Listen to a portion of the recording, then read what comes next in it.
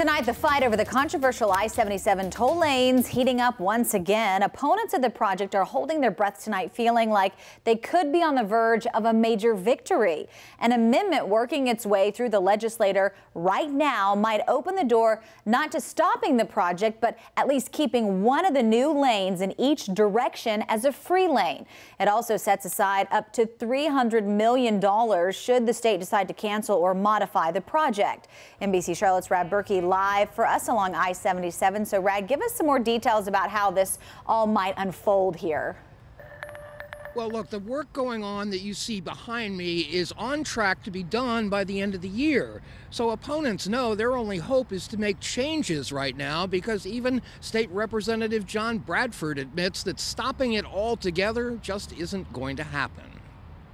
I don't see that being a likely outcome. I, I think what's going to happen is, you know, based on the advisory group's recommendation, that there's going to be a modification. John Bradford is talking about the I 77 toll lane advisory panel that recommended making one of the two new toll lanes in each direction a free lane. County Commissioner Pat Cotham was a member of the panel that wanted to find a compromise. We didn't want any managed lanes, but we were trying to give them something to show that, you know, we'll meet you halfway.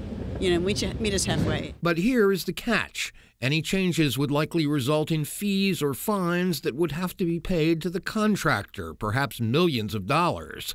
The new amendment being pushed by Representative Bradford would set aside Highway Trust Fund surpluses to pay any of those fines. But even Bradford admits it's impossible to say how this might play out, and would the courts have to get involved? But because we don't know how this is going to go, we don't know, you know, what the negotiations of a contract change or modification will look like. So the big mystery here is when will it happen and how much will it cost? Pat Cotham, though, says it's better than the alternative that's already playing out as the massive toll lane project approaches completion. And it's going to affect the economy of our state as well as affect the lives of the people in North Mecklenburg. Their quality of life is definitely diminished.